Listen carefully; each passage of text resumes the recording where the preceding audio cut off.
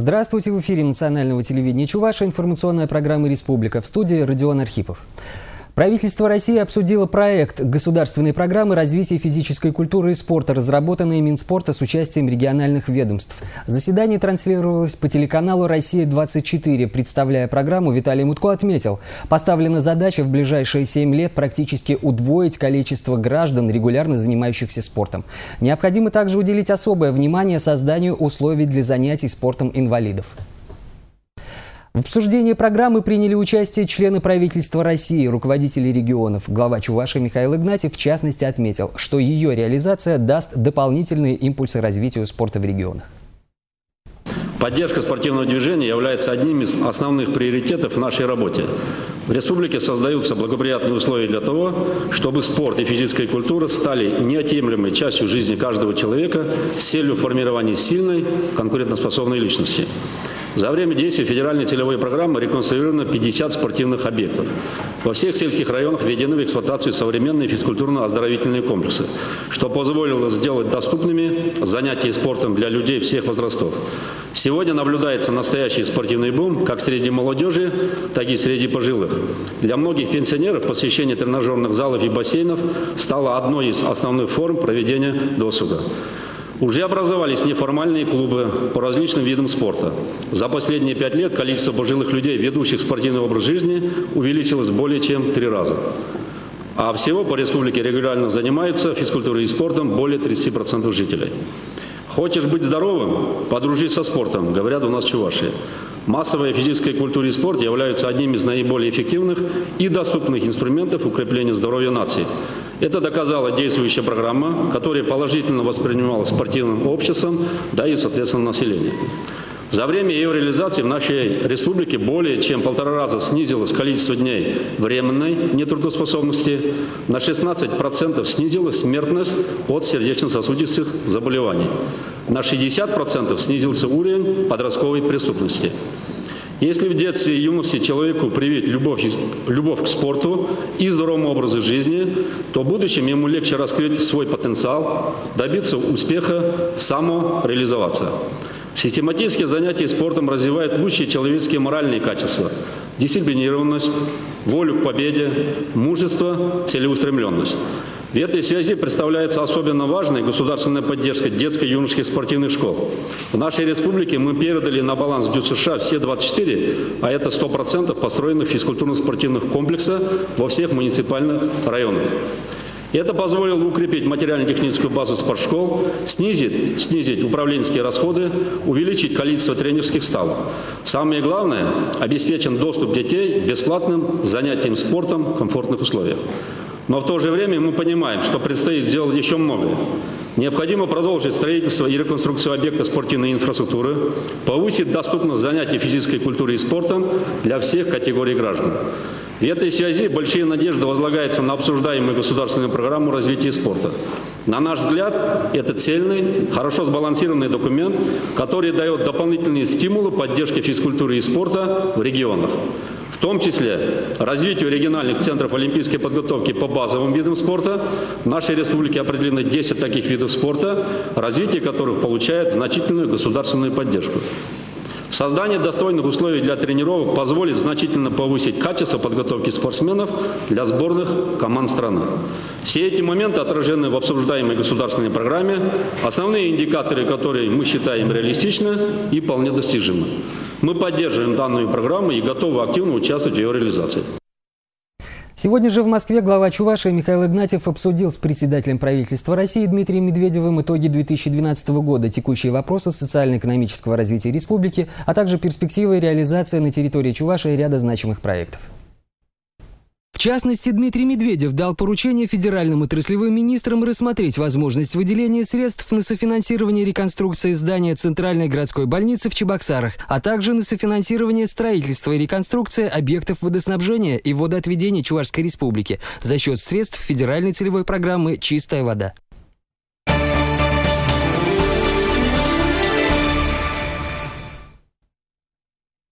Работа управляющих компаний, очереди в детские сады, уборка улиц и прилегающих территорий – основные проблемы, которые горожане хотели бы обсудить с сити-менеджером столицы. Очередная прямая линия главы администрации продолжалась два часа. Алексей Ладоков успел ответить на 48 вопросов. Первый же дозвонившийся поставил вопрос ребром. Речь идет о безопасности жителей Чебоксар, и полумерами здесь ограничиваться нельзя. Но мы же уже десятки лет травимся ртутью, и вы в том числе. И никому до этого нет дела. Вопрос-то с этими, э, с утилизацией ртуть содержащих ламп не решен. Это направление мы знаем. Э, действительно, этой проблемой занималась фирма «Меркурий». Действительно, они брали средства за это. Сегодня мы формируем несколько земельных участков в городе под пункты приема ртуть содержащей продукции. Мы хотим это создать при управляющей компании, пункты приема, чтобы управляющие компании занимались приемом и утилизацией этих ламп.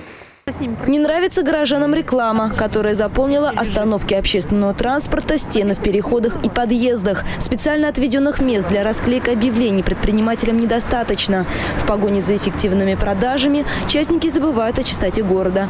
Борьба с нарушителями ведется, объясняет администрация. Вот только средств воздействия явно недостаточно. Возможно, пора ужесточить штрафы. С недовольством говорили о программе переселения из аварийного и ветхого жилья, конкретно из дома 31 по улице улицы Фочика, который в прошлом году обошли стороной. Алексей Ладогов пообещал, вопрос возьмут на контроль.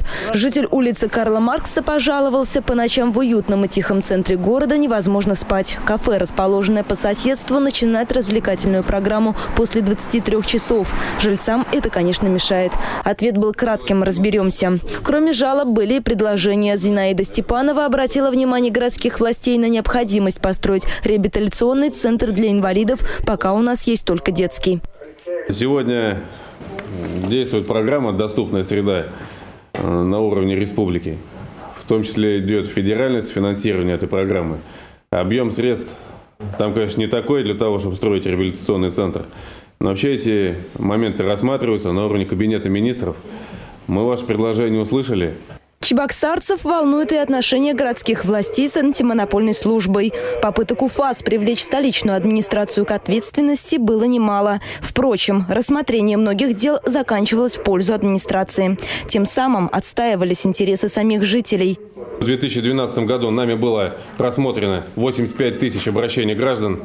Мы приняли 4651 решение в виде постановлений, в виде распоряжений – ФАС опротестовал, как я уже отметил, более 70. Причем около 30 он уже проиграл.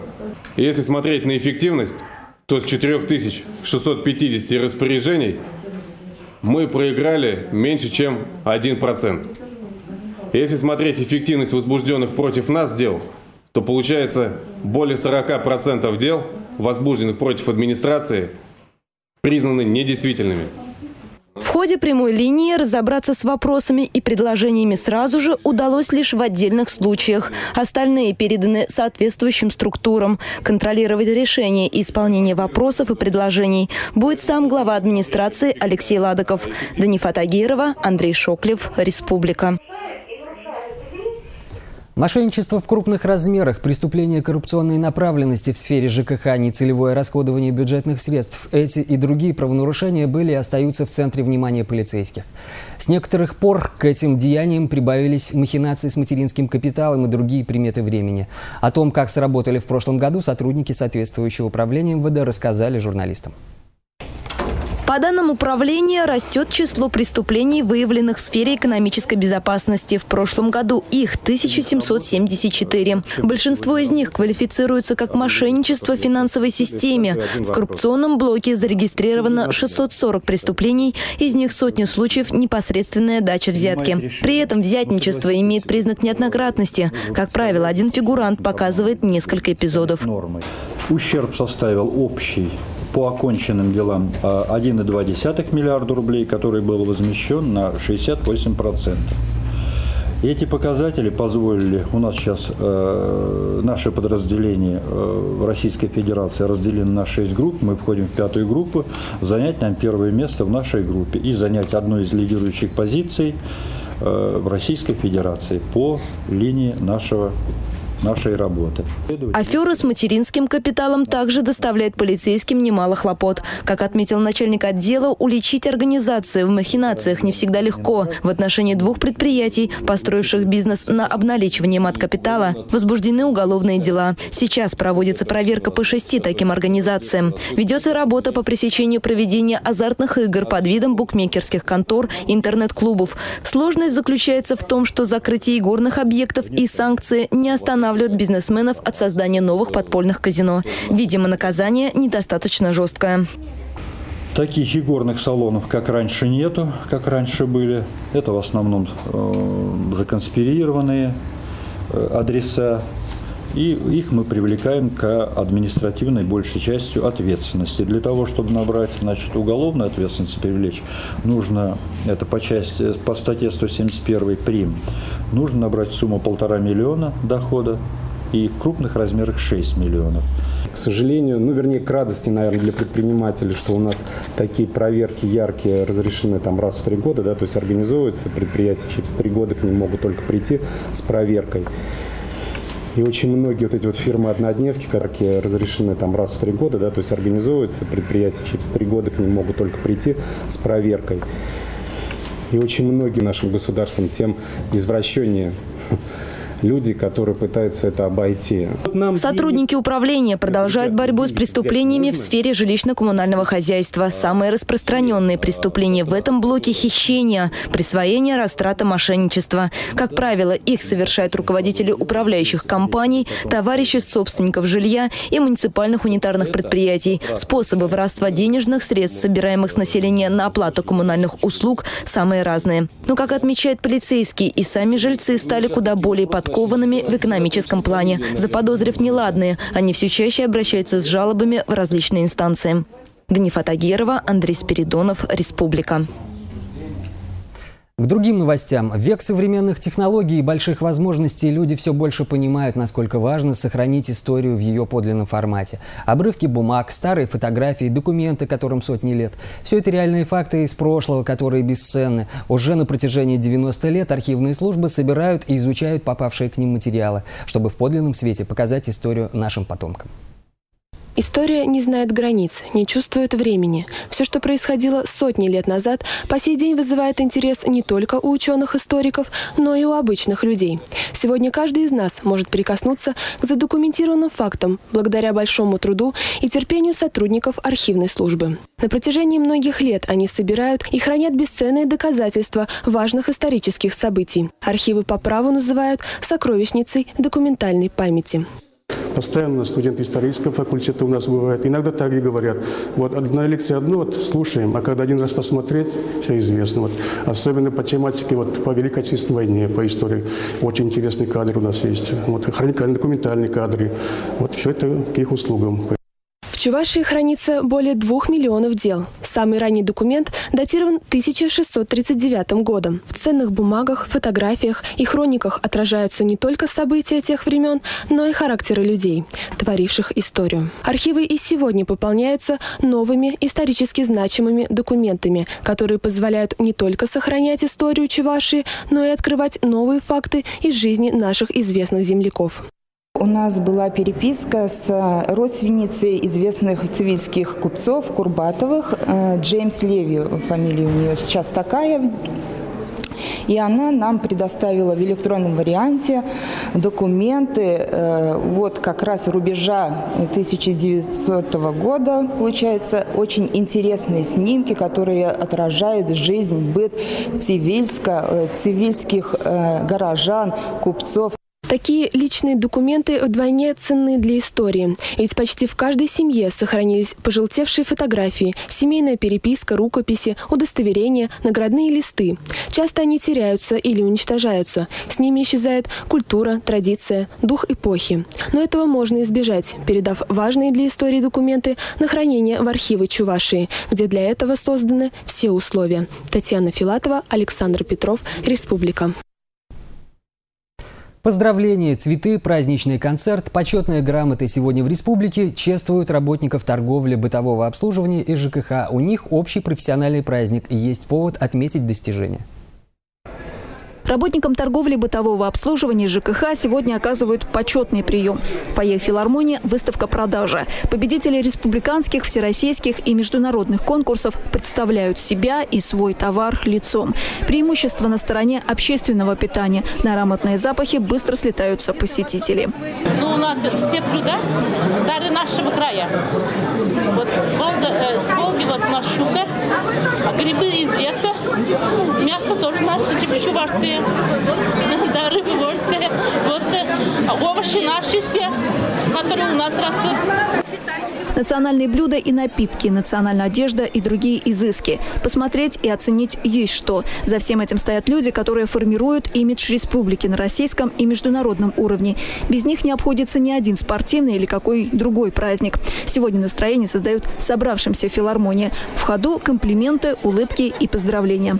Это и есть праздник, это опять-таки контакт, это живое общение с людьми. Когда каждый человек подходит и говорит, о, да, это фирма, это приятно, потому что это не только личное э, твое восприятие того момента, когда э, восторгаются работой фирмы, всем этим достижением, и ты участник этого события. Что может быть еще лучше на данный момент? Торговля и сфера питания динамично развиваются. Число специализированных предприятий увеличивается, что влечет за собой появление новых рабочих мест и привлечение инвестиций. Большая ответственность лежит на работающих в сфере ЖКХ. Отрасль претерпевает кардинальные изменения. Отличившимся сегодня вручают награды.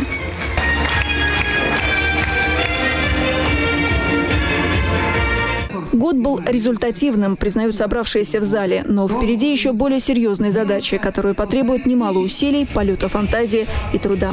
Ольга Григорьева, Леонид Клейман, Республика.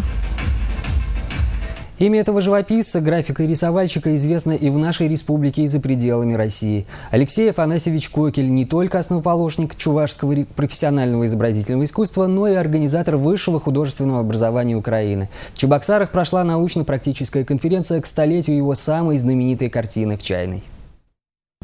Первоначальное название этого произведения искусства – «Чайная». Именно эту картину Алексей Афанасьевич представил в качестве дипломной работы сто лет назад. В 12 году прошлого столетия Кокель стал первым чувашем, окончившим Российскую императорскую академию художеств.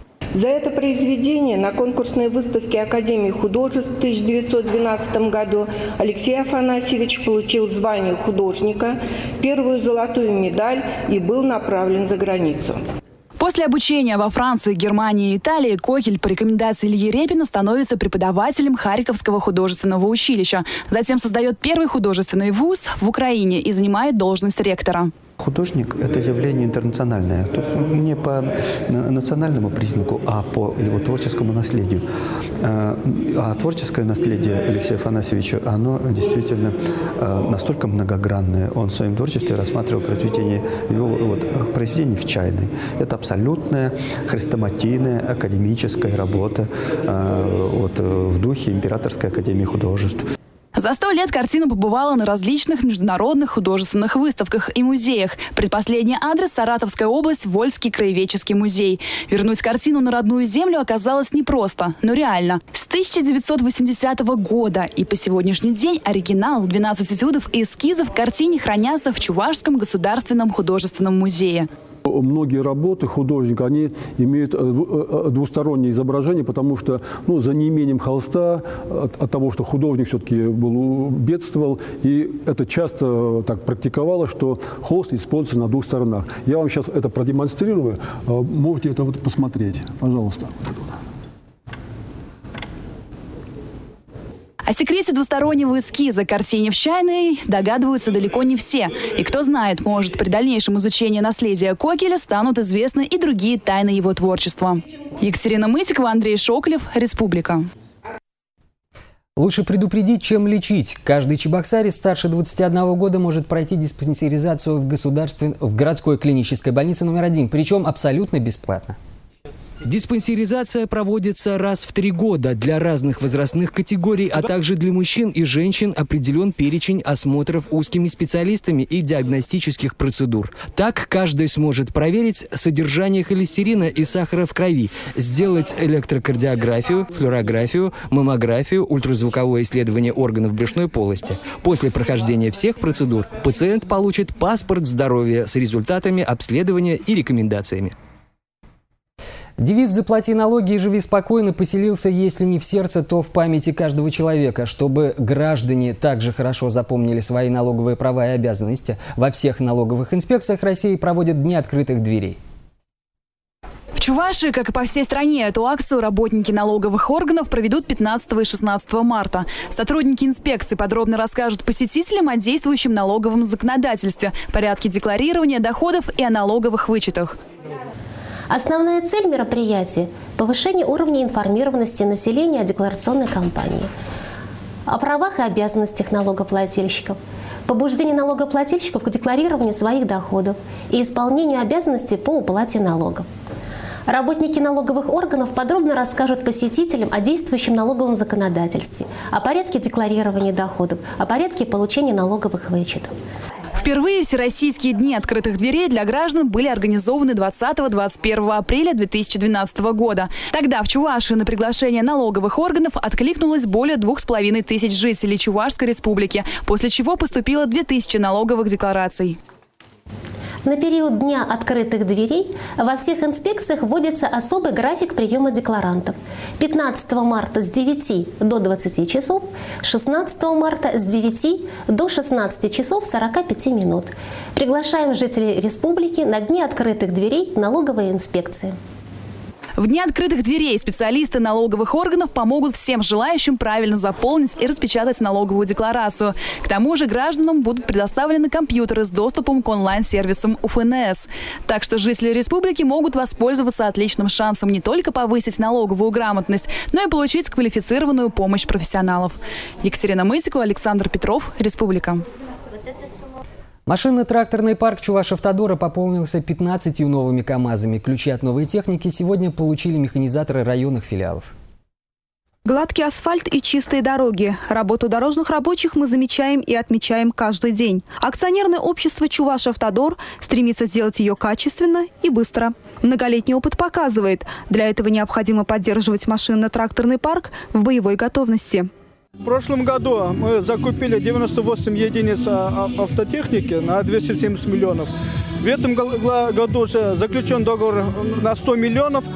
Сегодня первый этап мы вручаем 15 единиц КАМАЗов в ключе. Э, вторым этапом в конце апреля у нас э, импортная техника. Это асфальтоукладчик, импортные катки, автогрейдер импортные. Ключи от новых КАМАЗов из рук заместителя министра транспорта и дорожного хозяйства Владимира Степанова и генерального директора Чувашавтодора получили механизаторы, которые будут на них работать. Железные кони прямо рвутся в бой с бездорожьем. Хотелось бы, конечно, оправдать доверенную технику. И стараемся, чтобы было меньше аварий.